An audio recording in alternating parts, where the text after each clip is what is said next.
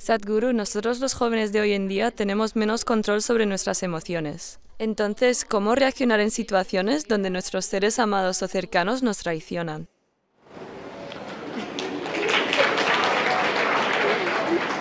This girl is already heartbroken. eh?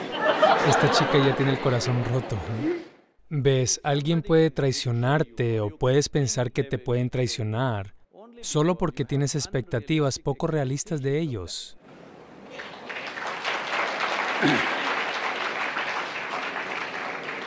Bueno, si hacen lo que quieren hacer, ¿por qué crees que te han traicionado? Están haciendo lo que quieren hacer, debes respetarlos. Si dices, son muy queridos para mí, los amo.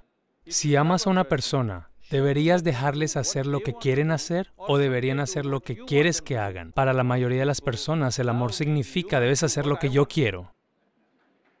No, no, amor significa que pueden hacer lo que quieran y los amaremos. ¿No es así? Tienes esta cosa que, si te amo, tienes que escucharme. No, no, si te amo, quiero que hagas lo que te traiga alegría. ¿No es así? Debes cambiar el concepto de tu amado. Pero Sadhguru, tengo una duda con respecto a esto. Ah, ¿Qué pasa si nuestros seres queridos van en una dirección que no es buena para ellos y queremos corregirlos? Y es por eso que les estamos diciendo. Entonces deberías haber sido la madre.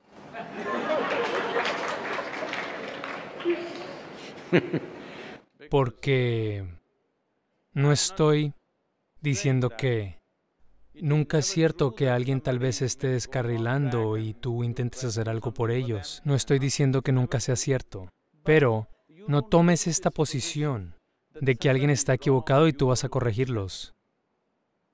Están haciendo lo que quieren hacer, ¿no es así?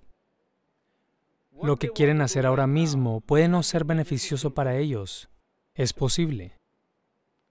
Pero debes mirarlo sinceramente.